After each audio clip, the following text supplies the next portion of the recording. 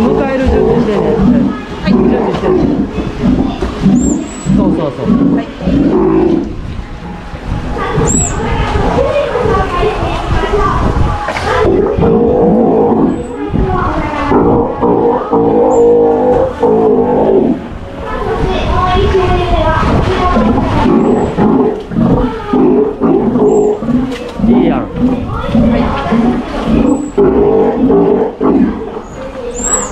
でまだまだ噛むやろうからはい。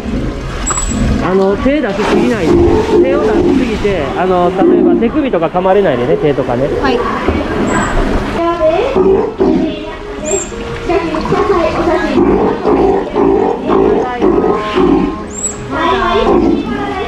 せっかくここまで来てるから噛む動きは出したくないんではい。慎重に。ああこっち見なくていいです、はい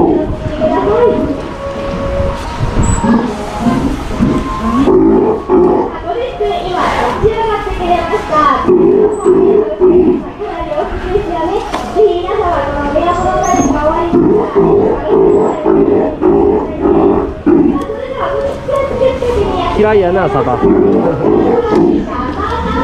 あの子が餌魚欲しかったらはい。噛むんじゃなくて本当にタッチしたらいいタッチしたらいいタッチしたらいいっていう風にしてちゃんとこうあのつながるようにしてほしいはい。で今その途中やからその途中でさ無理に手を出して手で触って噛まれたらはまたちょっと振り出しに戻ったりするからさせっかくここまでやってもったいないから。いはい。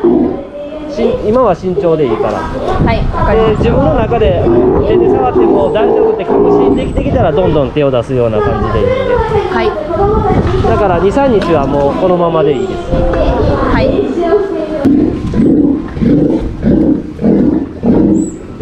そうそうそうもう彼女の中でも多分お押したら餌出てくるって分かってると思うから、はいうん